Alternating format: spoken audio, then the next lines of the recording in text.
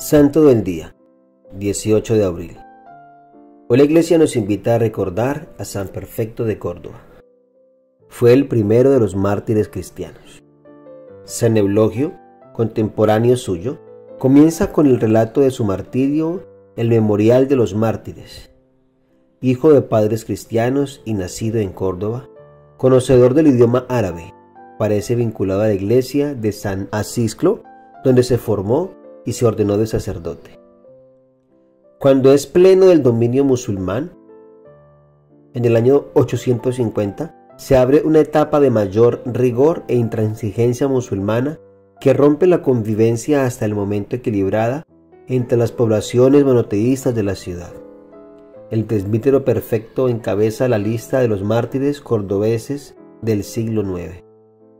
En los comienzos del 850, le rodea un malintencionado grupo de musulmanes. Le preguntan su parecer acerca de Cristo y de Mahoma. Perfecto expresó con claridad su fe en Jesucristo. Jesucristo es el Señor, sus seguidores están en la verdad y llegarán a la salvación. La ley de Cristo es del cielo y dada por el mismo Dios.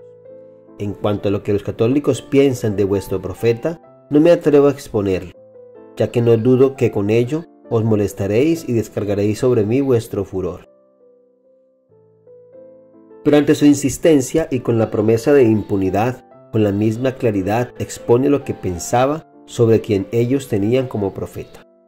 Mahoma es el hombre del demonio, hechicero, adúltero, engañador, maldito de Dios, instrumento de Satanás, venido del infierno para ruina y condenación de las gentes han quedado sus interlocutores atónitos, perplejos y enfurecidos. ¿Cómo podrán soportar a que llame al profeta Mahoma mentiroso a su doctrina abominación? ¿Aceptarán oír que quienes le siguen van a la perdición?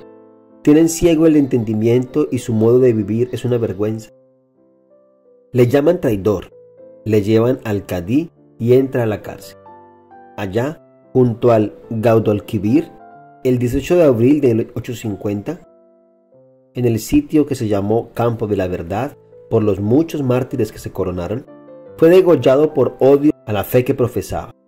Luego se enterró su cadáver en la iglesia de San Asisclo y sus restos se trasladaron más tarde en el 1124 a la iglesia de San Pedro. Su muerte, ejemplar, atentó a los acorralados y miedosos cristianos. Desde ese martirio habrá quienes se acerquen voluntariamente a los jueces.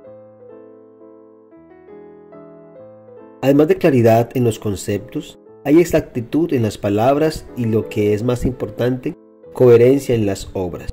Quizá los hábiles dialogantes de hoy tildaríamos a perfecto e imprudente por nuestra extraña cobardía que pega al suelo. Pero si la prudencia es virtud que acerca al cielo, Perfecto fue un hombre prudente.